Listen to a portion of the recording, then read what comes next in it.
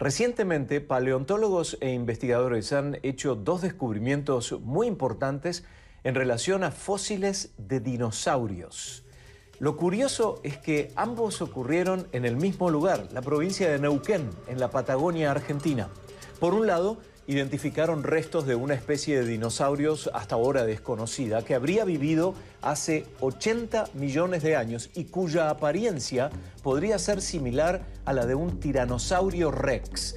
Es un ejemplar del tamaño de un elefante que habría tenido garras enormes, una poderosa mordida y sobre todo un gran sentido del oído. Se lo llamó Liucalcan aliocranianus Yucalcán significa el que causa miedo en mapuche y Alio cranianus es cráneo inusual en latín. El otro descubrimiento es el de fósiles de un enorme dinosaurio ninja titán que vivió hace 140 millones de años. Podría ser el miembro más antiguo conocido del grupo de dinosaurios conocidos como titanosaurios, que incluye a los animales terrestres más grandes de la historia de la Tierra. Parte de la relevancia de este hallazgo es que hasta antes de ese descubrimiento en la Patagonia solo se habían conocido titanosaurios de hace menos de 120 millones de años. Por eso, citamos a Diego Paul, paleontólogo e investigador del Museo Paleontológico Egidio Ferulio de la ciudad argentina de Trelew, quien está con nosotros. ¿Por qué hay tantos especímenes que aparecen en la Patagonia? Es lo que nos preguntamos en un primer momento. Bueno, es una muy buena pregunta y para responderla tenemos que considerar dos factores principales. El primero es que nosotros encontramos fósiles en las rocas que están en la superficie. Entonces, dependiendo de cuáles sean las rocas que estén en la superficie en diferentes regiones, vamos a encontrar distintos tipos de fósiles.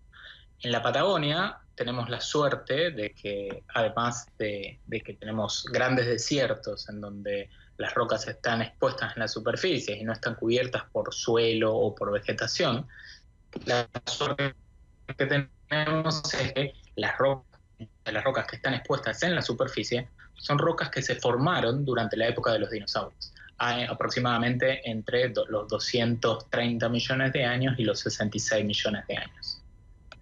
El segundo motivo, ¿Cómo se muy entiende? Ah, sí, perdón, adelante.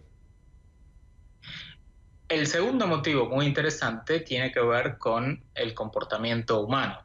Nosotros organizamos expediciones y vamos a buscar fósiles a los lugares donde sabemos que tenemos buenas chances de encontrar estos fósiles. Entonces, actualmente en la Patagonia se organizan aproximadamente 10 expediciones por año en busca de nuevos restos de dinosaurios.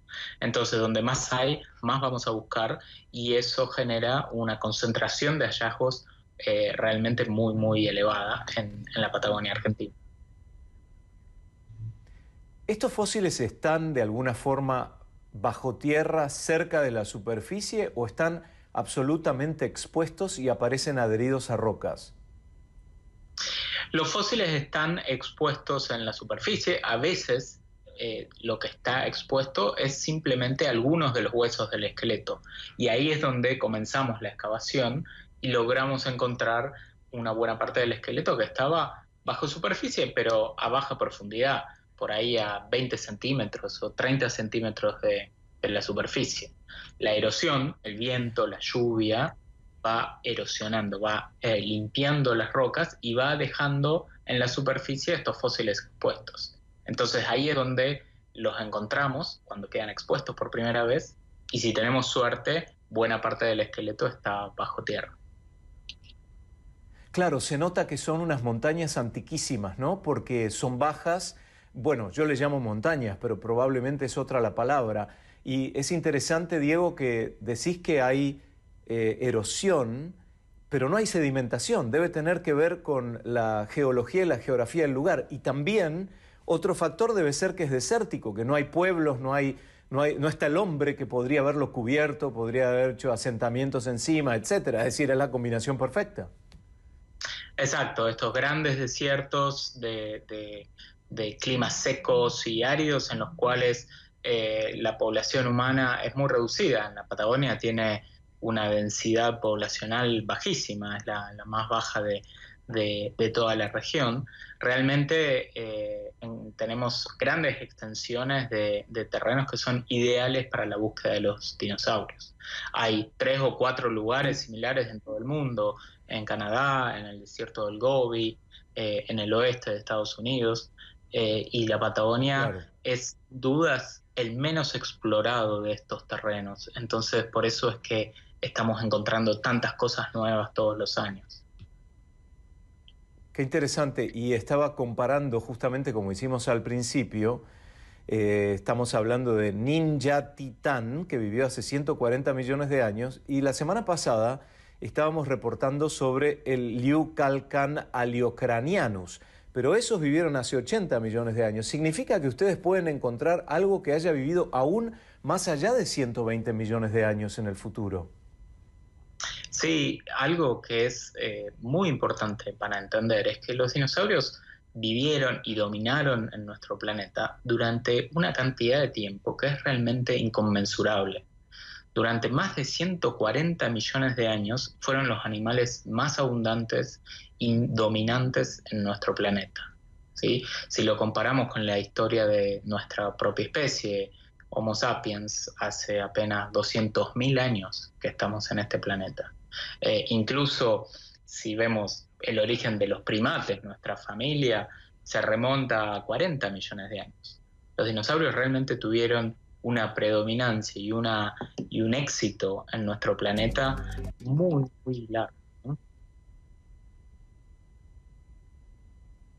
Y era un planeta completamente distinto de lo que vemos ahora, ¿no? Probablemente las condiciones del tiempo en ese lugar eran completamente diferentes de lo que tenemos en este lugar, en, este caso en lugares desérticos.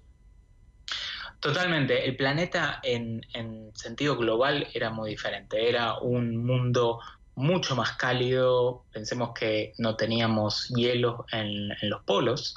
La Antártida era un lugar con bosques templados. Patagonia era un lugar con bosques y lagos que cubrían toda su extensión clima mucho más cálido y mucho más húmedo de lo que encontramos hoy en día.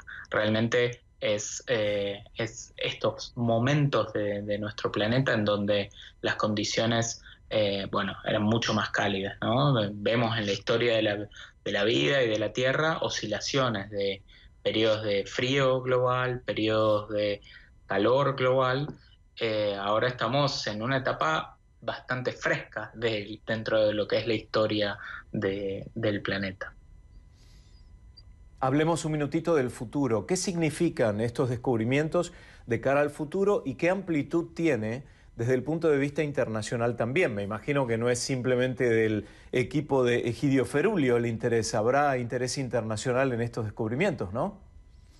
Por supuesto, los, descubrimientos en, Patagonia están realmente atrayendo mucha atención de todo el mundo, de toda la comunidad, porque realmente están eh, realmente revelando etapas completamente desconocidas de la historia de nuestro planeta, sobre todo de qué está ocurriendo en el hemisferio sur. Patagonia es un muy buen representante de lo que ocurría en nuestro planeta en el hemisferio sur.